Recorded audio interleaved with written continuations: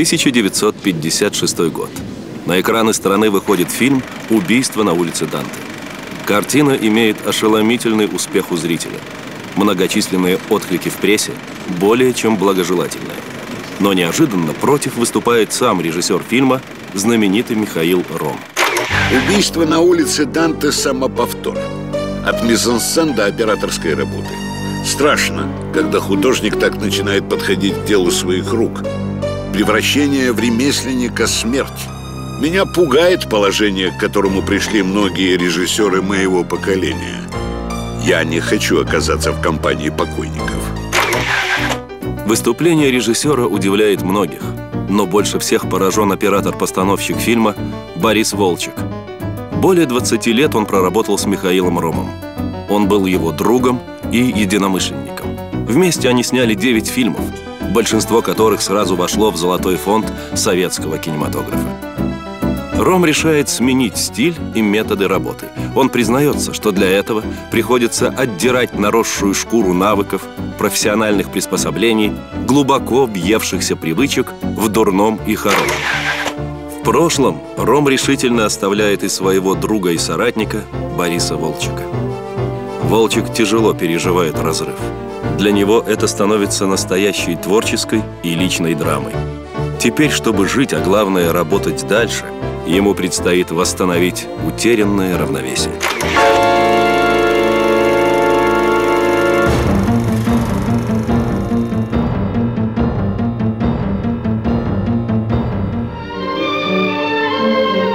Весной 1933 года режиссер Михаил Ром знакомится с 27-летним преподавателем Института кинематографии и оператором Борисом Волчиком.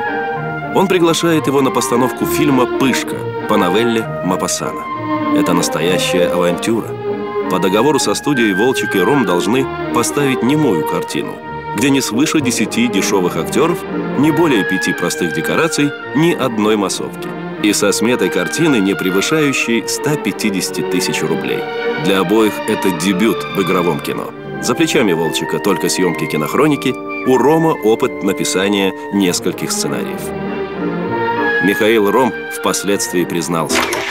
К моменту работы над «Пышкой» я не знал ничего. Не умел работать с актерами, не умел монтировать, не умел строить мизансцену.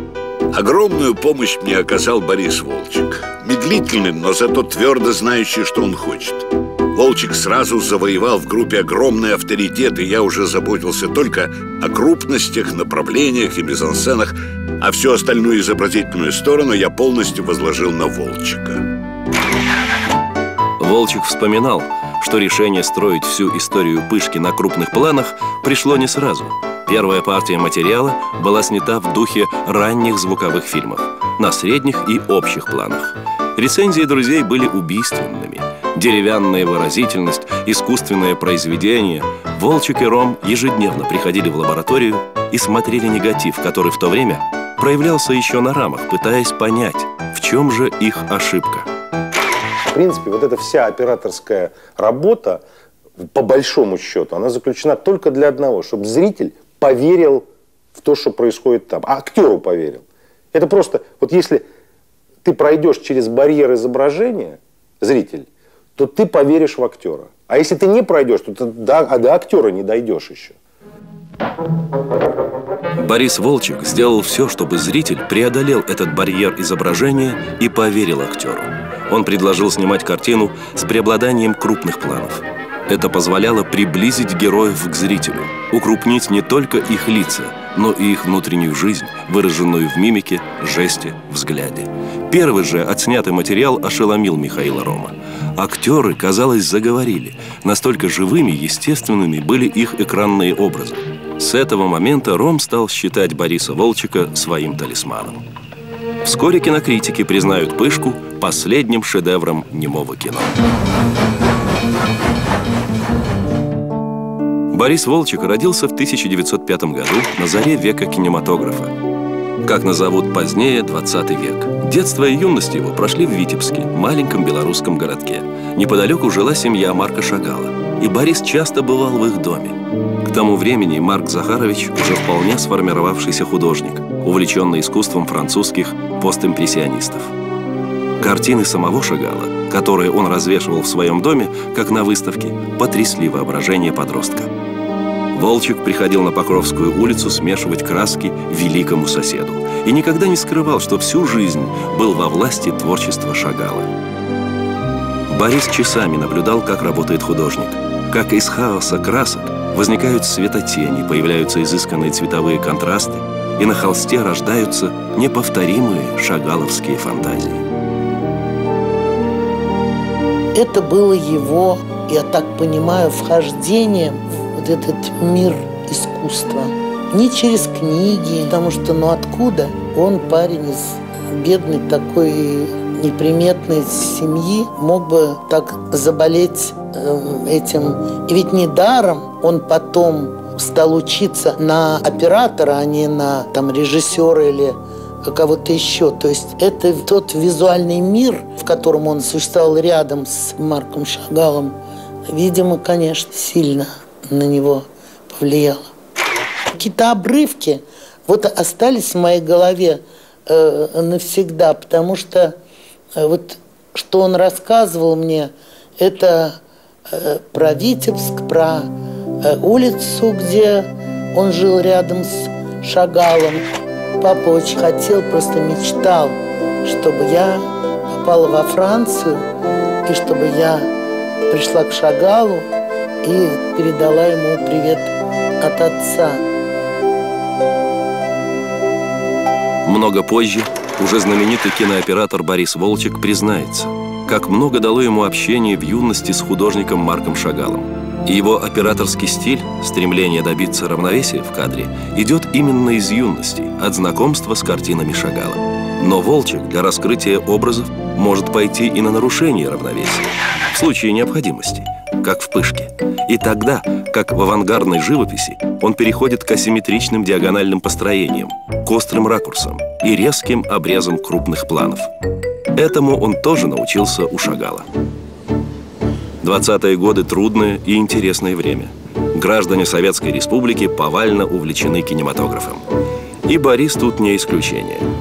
Но в отличие от многих своих сверстников, он может смотреть кинофильмы ежедневно – Ученик Шагала работает киномехаником в Витебском кинотеатре. Для Волчика кино – ожившие картины, только более захватывающие. Когда в 1927 году молодому киномеханику предлагают по профсоюзной путевке учиться на оператора в Москве, он не раздумывает и поступает в Государственный техникум кинематографии, теперешний в ГИК. В Москве страстный киноман из провинции в полной мере реализовал выпавший на его долю шанс. Столица приняла его, и он полюбил столицу. Учился, попутно снимал хроникальные репортажи. Студент Волчек был талантлив и к концу учебы уже достаточно опытен. И что было немаловажно в те годы, изобретателен. Неоценимое качество в условиях нехватки аппаратуры, лабораторного оборудования и съемочной техники – и руководители киноинститута отдали ему должное. В 1931 году Борис защищает диплом и остается преподавать в Авгике операторское мастерство. Кинобыт этот, он был ну, абсолютным фоном моей жизни, поэтому, когда меня спрашивают, а что это вы в кино не пошли, а пошли в театр сразу там, потому что кино не было для меня никакой тайной. Это было моим вот ежедневным бытом. Помню все. Какая страсть у него была какой-то вот этой аппаратуре, которую я помню с детства, эти объективы, которые он что-то продувал, вытирал, какие-то э, коллекционировал что-то. У него была фантастическая коллекция аппаратуры. Он был фанатиком э, вот этих всех магнитофонов, всяких там камер, вот все, у него вся комната была огромная коллекция этого всего. И меня это все поражало. Поэтому он для меня был такой очень недоступный человек. Я его боялся. 1935 год. По распоряжению Сталина руководство Мосфильма начинает съемки первого советского вестерна, но на историко-революционном материале недавних сражений с басмачами в Туркестане. Название фильма «13». Возможно, магическая цифра в названии непостижимым образом повлияла и на ход создания фильма. Ром принял решение для особой правдивости изображения провести съемки на месте событий в Средней Азии. Для Рома и Волчика съемочный период оказался не намного легче, чем схватка 13 красноармейцев с двумя сотнями басмачей. Термометр, вставленный в кассету кинокамеры, показывал 70 градусов. Дизентерия косила одного за другим членов группы. Люди выбывали, как в бою. Из 52 человек в конце февраля приехавших на съемки в Ашхабад, к августу в строю осталось 18. Один актер даже заболел пустынным помешательством. Для Волчика съемки превратились в настоящее испытание воли и мастерства. После каждого дубля кинокамеру чистили от песка и перезаряжали. И все равно песок царапал пленку, от жары эмульсия плавилась и сползала с негатива. Для оператора «Волчика» работа над 13, помимо физических трудностей, сложное и серьезное испытание. Незнакомая, притом очень специфическая натура. Однообразная фактура песчаной пустыни. Особые условия каракомского освещения, когда солнце чуть ли не сразу после восхода стремительно вскакивает в зенит и снимать становится очень трудно. При этом почти на всем протяжении фильма герои действуют в песках – светлые человеческие фигуры на фоне серой песчаной пустыни. Талант и характер помогают Волчику выйти из трудного испытания с честью. Уже в Москве Ром говорит, что если бы не твердая позиция ближайшего друга и сотрудника Бориса Волчика, ему не удалось бы снять натуру по картине «13». Или как на натуре ждали кучевые облака, чтобы они именно в этом углу кадров стали. По неделям ждали. Но вот это все создавало некую такую искусственность и монументальность. Великую, повторяю, да, но монументальность. Самое большое разочарование ждет Волчика и Рома в Москве. В кадрах, снятых в раскаленной пустыне, не чувствуется ни жары, ни жажды. Друзья делают для себя открытие. На крупных планах жажду и жару актерам надо изображать, а не переживать по-настоящему. Поэтому крупные планы приходится доснимать в павильонах, полагаясь уже только на творческие методы – игру актеров. Для съемок этих сцен на Мосфильм грузовиками привозят песок из Каракумов. Волчек добивается ясности, четкости и гармонии. Он художник и стремится к равновесию. Четко выстраивает кадр, продумывает композицию и движение внутри кадра.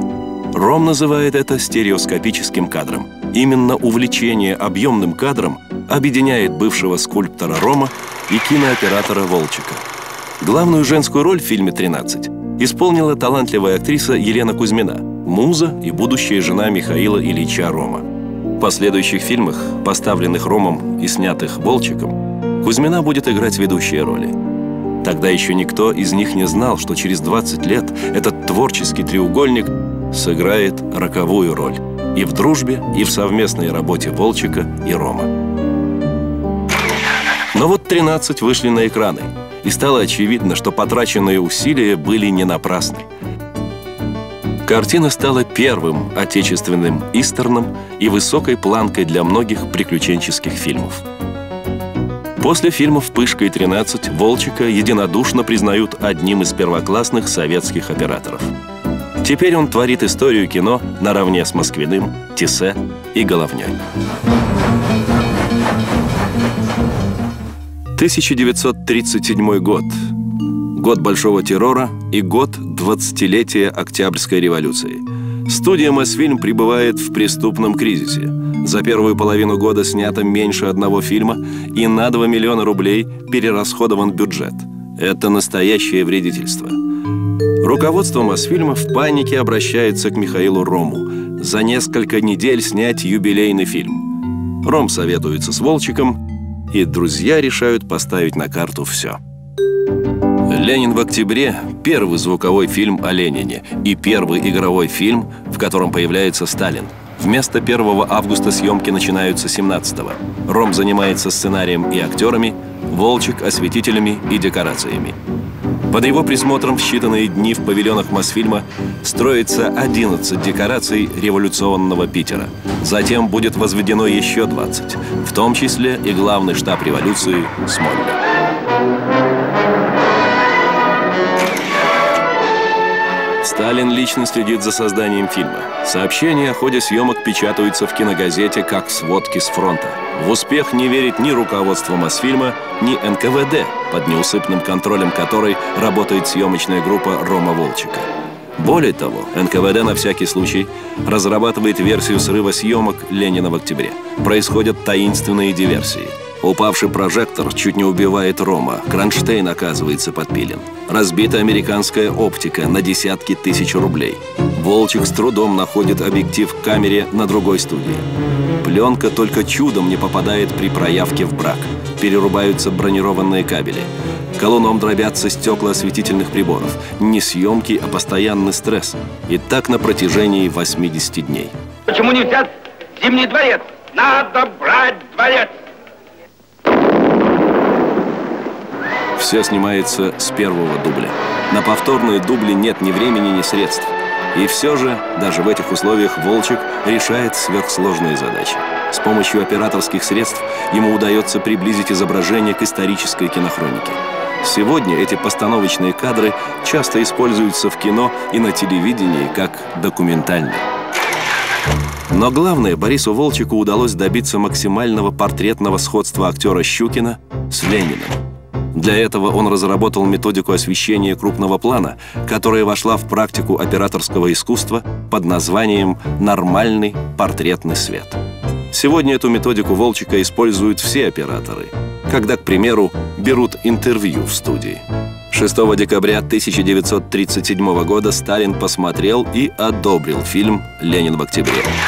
И уже в 1938-м Ром и Волчек по поручению партии приступают ко второй части диалогии «Ленин в 1918 году». На этом фильме Волчек совершает операторский подвиг. За 4 месяца он снимает почти 4 километра пленки. Этот рекорд так никем и не перекрыт.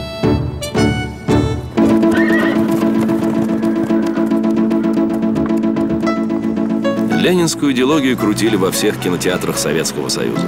Знаменитые передвижки, передвижные киноустановки, машины с кинопроектором в кузове добирались до самых отдаленных уголков страны.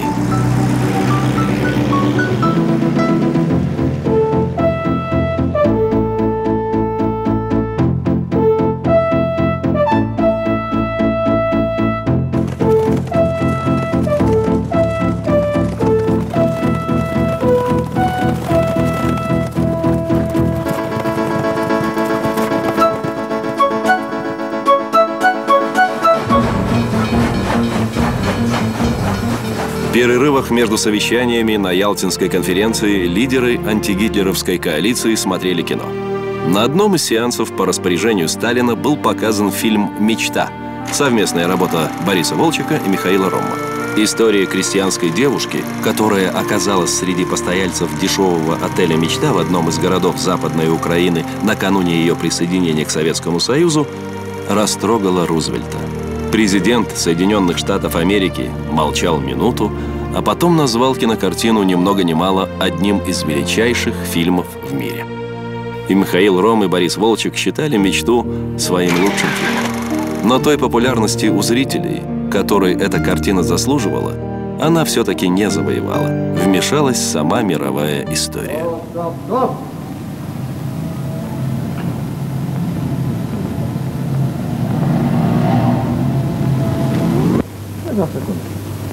А сколько вообще декораций осталось? Три большие декорации, потом несколько съемок. В общем, к маю я кончаю все съемки. Ну, не буду вам мешать. Товарищи, приготовились к репетиции? К съемкам «Мечты» Волчик и Ром приступают в сороковом году.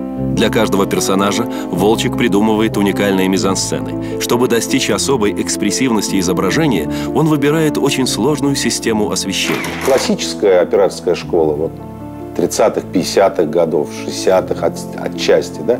Это такая немножко искусственная, очень красивая, очень трудоемкая э, школа. Вот то, чем дед занимался. Они светили бэбиками, ну, маленькими приборами, да, каждый сантиметр э, декорации. Ну, как бы это объяснить, что делали градацию света вот этими бэбиками. То есть вот тень подсвечивали от темного к светлому. То есть это это вообще такой хендмейд.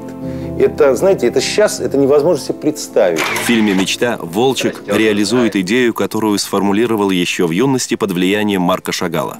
Каждый эффект освещения у Волчика точно продуман, логичен, выверен. Кадр всегда скульптурен. Фигуры актеров рельефны, объемны. Они четко рисуются на фоне, какие бы сложные архитектурные построения Волчик не составлял. Михаил Ром вспоминал. Последний день перезаписи звука фильма «Мечта» попал на ночь субботы 21 на воскресенье 22 июня 41 года. Мы закончили перезапись в 8 утра, поздравили друг друга с окончанием работы, а через три часа я узнал о нападении фашистской Германии на Советский Союз. Было не до картины.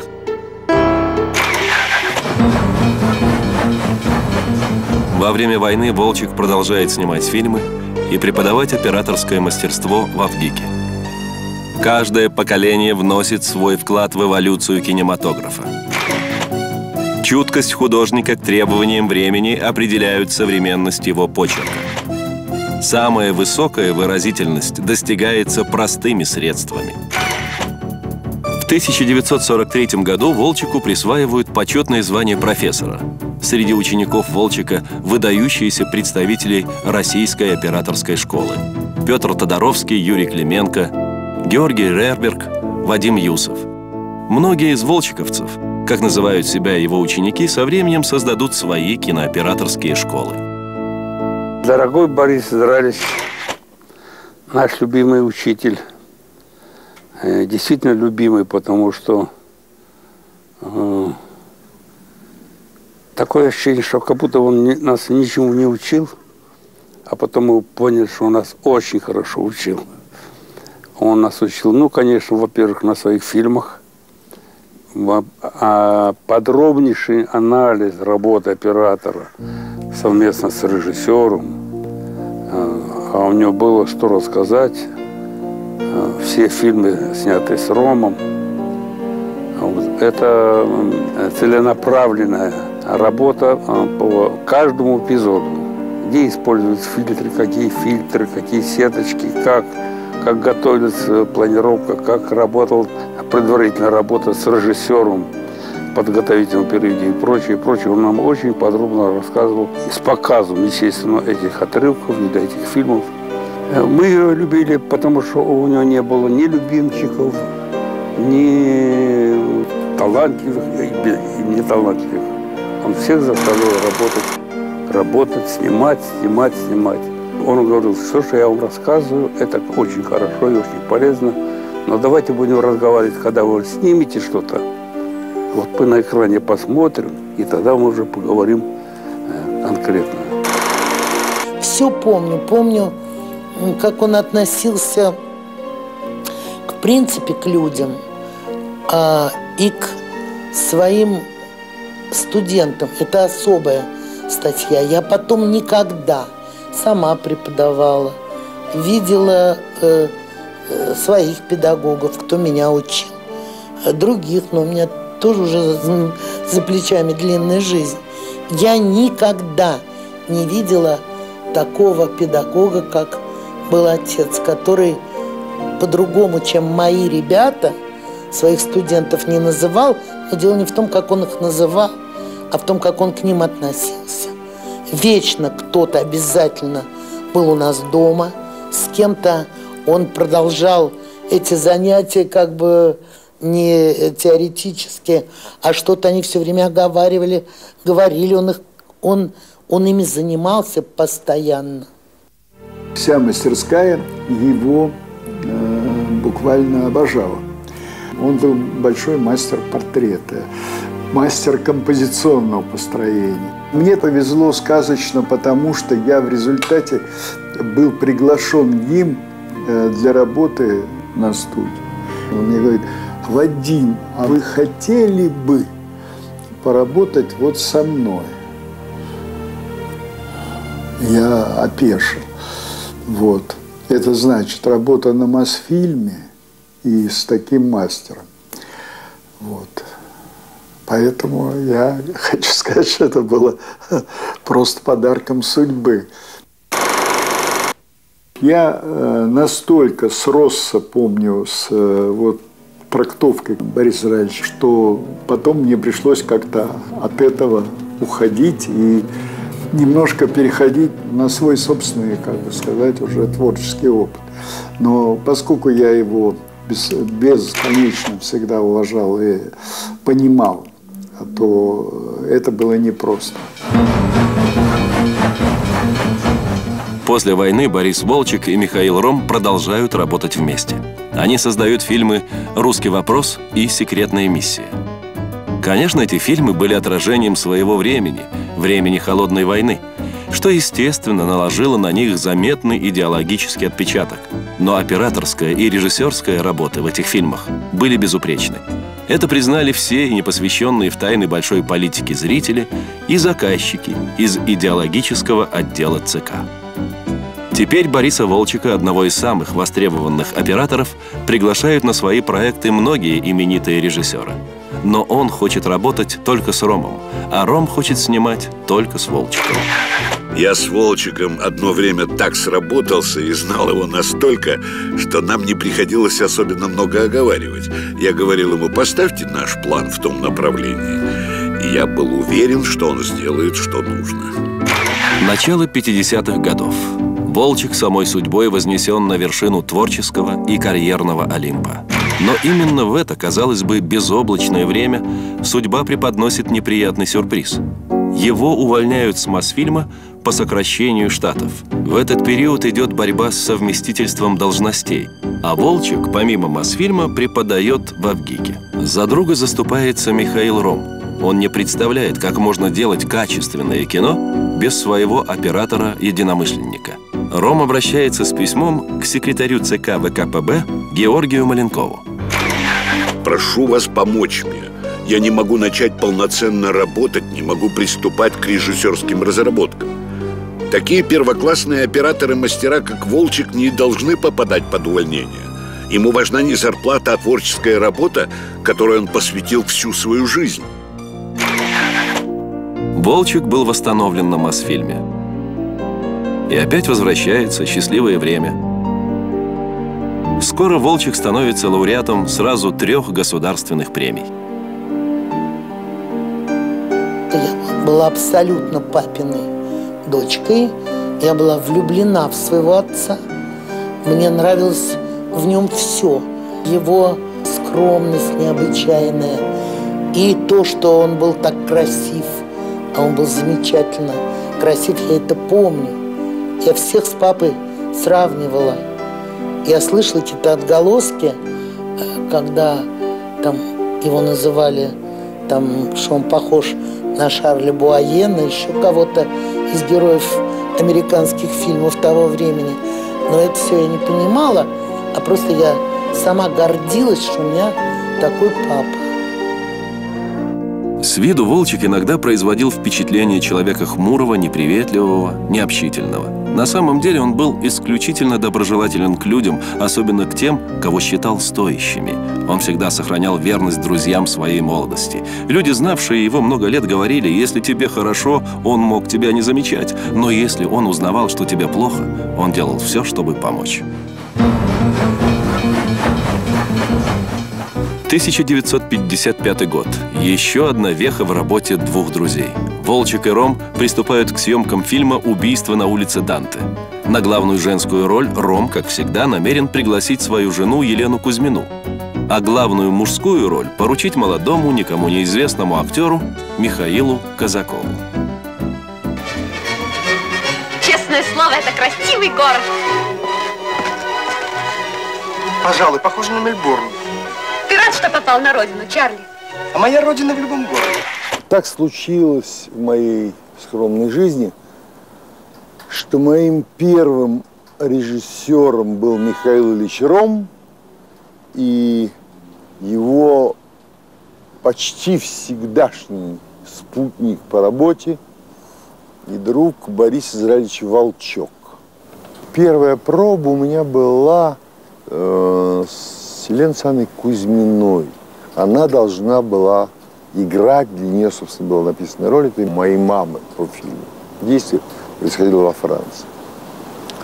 Я никогда не забуду эту пробу, и как волновался Рома, он обожал свою Лёлю, и как Борис Израилевич, как всегда, очень тщательно выставлял свет, а уже э, Елене Санне было не так уж мало лет. Она должна была играть такую эффектную французскую актрису. Короче говоря, Пырьев не утвердил Кузьмину. Я видела, что отец очень переживает, очень этот момент этого разрыва. Ну, так по моим таким тоже юношеским воспоминаниям, э, как бы Елена Санна Лёля была инициатором этого. Что-то ей там обидным показалось, что, по-моему, не знаю, или кто-то ей рассказал, что в убийстве на улице Данте папа якобы плохо ее снял, не знаю. Или лучше снял какую-то другую артистку. А по каким причинам, так сказать, внешние причины были таковы, что, мол, она уже не молода для этой роли. А, на самом деле, Яков был приказ а, Пырьева, он не хотел, чтобы режиссеры снимали своих жен, то ли он сам не хотел уже снимать Ладынину. Не знаю. Тайна, покрытая мраком. Короче говоря, не утвердили э, Елену Санну. Для Ромы это была невероятная трагедия. Вот просто трагедия. Он мне об этом потом говорил, когда мы снимали натуру в Риге. И он, по-моему, несправедливо винил Бориса Израилевича в этом. Что вот Боря не так снял Лену, Лёлю, я не думаю. Потому что Волчок был так тщателен. Это я на себе потом испытал. Так вылизывал кадр, так ставил свет, так был внимателен к ракурсу. А когда речь шла о Кузьминой, наверное, вдвойне. Но факт остается фактом. В итоге на главную роль утвердили Евгению Козыреву. Под руководством опытных режиссера и оператора она сыграла достаточно хорошо. Но отстранение любимой жены для Рома оказалось ударом, от которого он в ходе работы над убийством на улице Данте так и не смог оправиться. Он все более критически относится к себе, к своей работе и к своему другу Борису Волчику. Есть многие операторы, которые стремятся уравновесить каждый кадр. Эта болезнь настолько распространена, что на протяжении всей своей жизни я боролся с ней у Волчика. Если, например, в левой стороне кадра у него человек, то в правой стороне он непременно поместит световое пятно. Если позволяет обстановка стул, если это подвал и нельзя стул, бочку. Если на натуре дерево, что угодно, но чтобы кадр был уравновешен. Между тем, это вовсе не всегда необходимо. Волчик не может понять метаний друга. Он не считает убийство на улице Данте провалом. Ром же испытывает творческий кризис. Тем более мучительный, что внешне все обстоит благополучно. Фильм получил привычную положительную прессу. Авторитет кажется незыблемым. Прошлые заслуги ограждают от критики. Ром устраивает просмотр убийства на улице Данте для студентов своей мастерской в Авгике. Ученики не принимают работу мастера. Ром сам подводит черту. В убийстве на улице Данте отсутствует главное из того, что должно быть в кинематографе. В ней отсутствует в общем правда. Когда я ставил картину, то я поймал себя на том, что я такие кадры уже ставил, что такие мизансцены у меня уже были. Оператору удобно, осветителям удобно. Актеры сразу приходят в восторг, потому что им тоже удобно, и потому что они что-то такое уже делали. Вот когда я несколько раз обнаружил эти обстоятельства, то я понял, что я перестал по существу быть художником, что меня постигла очень большая драма. С этого момента жизнь Волчика и Рома пойдет порознь, у каждого своим курсом. Для Волчика наступают годы операторского простоя. Основное внимание он переключает на педагогическую деятельность в Авгике. Оператор Волчик долго ищет своего режиссера-единомышленника, человека, способного принять его новации, но так и не находит. И теперь уже встает за камеру как режиссер. 1964 году Волчек снимает первую картину «Сотрудник ЧК». В 1969 начинает съемки следующего фильма «Обвиняются в убийстве».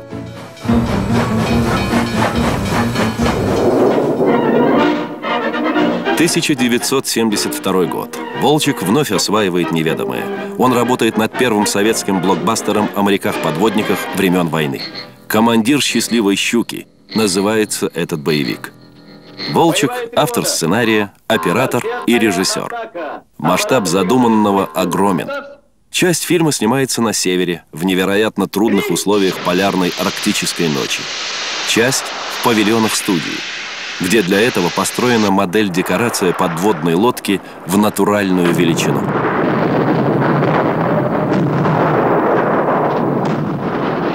И вот я помню, не забуду никак в жизни. Это вот первое мое такое киношное впечатление, фантастическое, из-за чего я, может быть, кино вообще полюбил. Когда я к нему приехал, он снимал на Мосфильме э, «Командир счастливой щуки», был такой, была картина. И там был сделан разрез э, подводной лодки целиком. В павильоне стояла огромная подводная лодка в разрезе. И меня это совершенно поразило.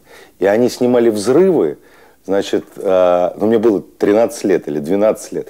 Взрывы они снимали так, э, значит, стояла камера, э, актеры перед камерой, и актеры так чуть-чуть что-то делали, когда был взрыв, а кто-то бил по камере рукой. И это был взрыв. И меня это совершенно поразило. Я тогда понял, что такое обман вообще в кино. Что все кино – это обман. Только есть талантливый обман, а есть неталантливый. Вот я увидел вот эту вещь у него впервые на съемке.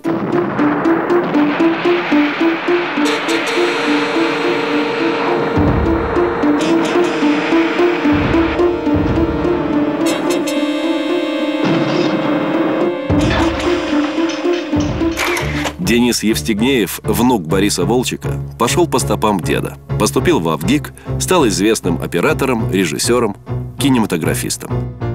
А, к счастью, вот мой учитель, Вадим Иванович Юсов, он был учеником моего деда. При этом мы с ним не говорили на тему, там, как-то там, не знаю, что он, что я, что как бы передается и так далее. Но вероятнее всего, что вот по этой цепочке что-то передалось мне. От деда через Юсова ко мне. И это вот, вот это и есть э, на самом деле замечательная вещь, которая э, и создает вот нашу операторскую школу. Последние годы жизни Волчик внимательно следит за развитием операторской техники и приспособлений. Новые технические достижения, такие изобразительные эффекты, которые еще недавно казались невыполнимыми. Мы очень бы сузили понятие современного почерка в искусстве, если бы свели всю проблему к техническим приемам и новинкам. Техника, виртуозность съемки – дело наживное. Если бы мне пришлось снимать пышку сегодня, то средства выражения, наверное, были бы иными, но принципы теми же.